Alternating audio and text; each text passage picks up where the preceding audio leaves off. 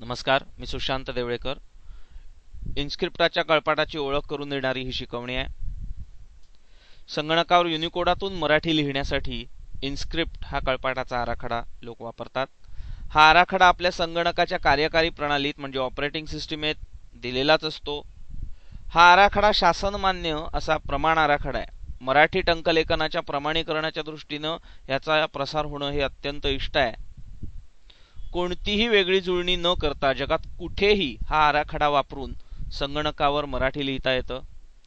हा आराखडा अत्यंत सोपा आहे आणि मराठीची बाराखडी माहीत असलेली कोणतीही व्यक्ती थोडासा सराव करून हा आराखडा आत्मसात करू शकते. आपण पडद्यावरचा कळपाट म्हणजे ऑनस्क्रीन कीबोर्ड वापरून ह्या आराखड्याची ओळख करून घेऊया. स्टार्ट प्रोग्राम्स ॲक्सेसरी ॲक्सेसिबिलिटी त्यात ऑनस्क्रीन कीबोर्ड हा आता प्रथमतः इथे इंग्रजी आहे. तो आधी आपण मराठी करून घेऊया. आता इथे यावर मराठी अक्षर दिसायला लागले या आराखड्यामध्ये डाव्या हाताला नेहमीच्या वापरातली स्वरांची चिन्ह आहेत. आणि शिफ्ट न दाबता काना मात्रा वगैरे तर शिफ्ट दाबल्यानंतर त्या स्वराचं स्वतंत्र चिन्ह दिसतं. म्हणजे ज्या कळीवर काना हे चिन्ह शिफ्ट न दाबता उमटतं त्यावरच शिफ्ट दाबल्यावर आ हे स्वराचं चिन्ह उमटतं.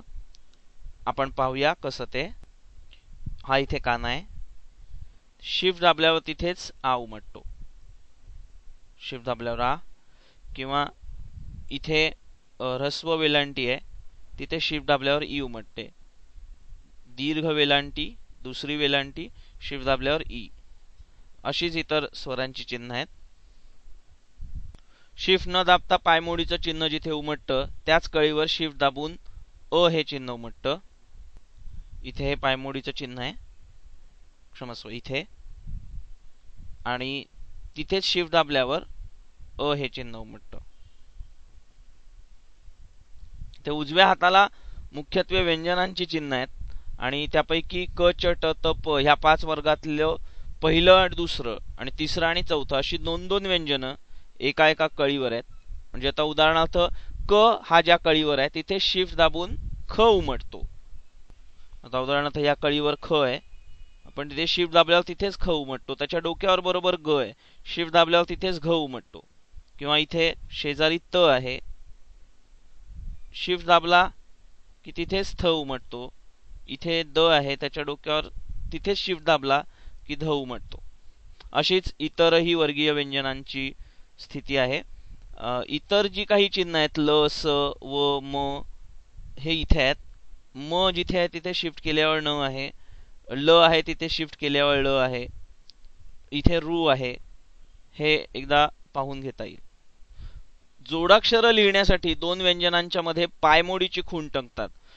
म्हणजे आता क्र लिहायचं असेल तर क पायमोडीचं चिन्ह किंवा हलंताचं चिन्ह आणि र. आपण पाहूया. आपण त्र लिहून पाहूया. त इथे हलंताचं चिन्ह पायमोडीचं चिन्ह आणि र लिहिला की त्र दिसतो. किंवा आपल्याला क ला त लिहायचं आहे क पुन्हा पायमोडीचं चिन्ह आणि त. अशा प्रकारे जोडाक्षर लिहिणं एकदम सोपं आहे.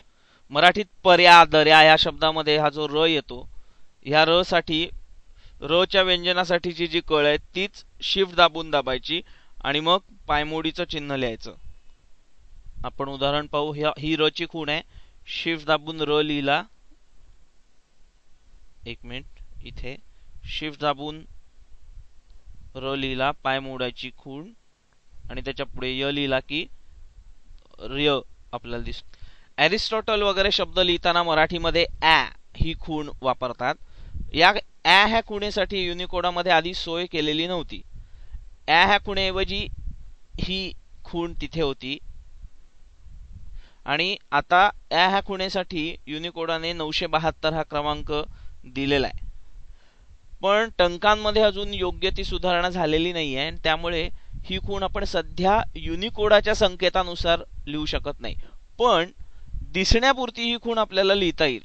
त्यासाठी काय करायचं की अ आणि चंद्रकोर यांच्यामध्ये झिरो विट जॉईनर घालून आपल्याला ॲ ही जी खूण दिसते अशी खूण तयार करता येते.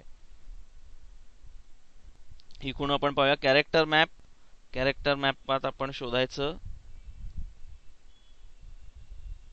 Zero width joiner. हा त्यांनी झिरो विड नॉन जॉइनर शोधला. त्याच्या शेजारी झिरो विट जॉइनर आहे. तो निवडायचा नकलायचा आणि आपण पुन्हा हा आपला कळपाट काढू. आणि तिथे अ आहे आपल्याला याचा अ. त्याच्या बाजूला तो नकललेला हा झिरो विट जॉइनर डकवू. आणि त्याच्या पुढे चंद्रकोरीची खूण इथे दोन वर आहे.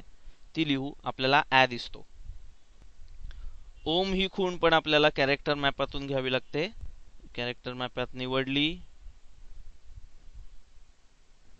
कॉपी आणि इथे येऊन ती डकवली. की ओम दिसतो. विरामचिन्हांपैकी मराठीच्या कळपाटावर स्वल्पविराम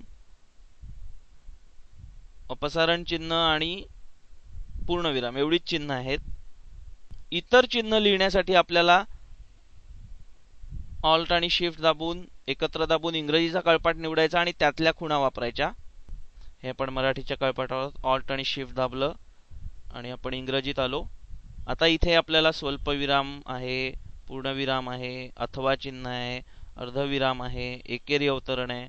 तिथे शिफ्ट दाबलं की दुहेरी अवतरण आहे. इथे द्विबिंदू आहे ही सगळी चिन्ह आपल्याला जी हवीत किंवा महत्वाचं म्हणजे प्रश्नचिन्ह हे प्रश्नचिन्ह आपल्याला सगळीकडे वापरता येऊ शकतं. ही शिकवणी आहे ती फक्त तोंडओळख करून देते इन्स्क्रिप्टची इन्स्क्रिप्टचे तपशील दाखवणारी संगणकीय शिकवणी Pune dot CDAC dot in slash H T M L slash gist slash down slash की टिंब डॉट ए एस पी ह्या संकेतस्थळावरून ह्या दुव्यावरून उतरवून घेता येईल. आता आपण अगदी सोप्या पद्धतीने संगणकावर सहज मराठी लिहू शकतो. प्रयत्न करून पहा. धन्यवाद.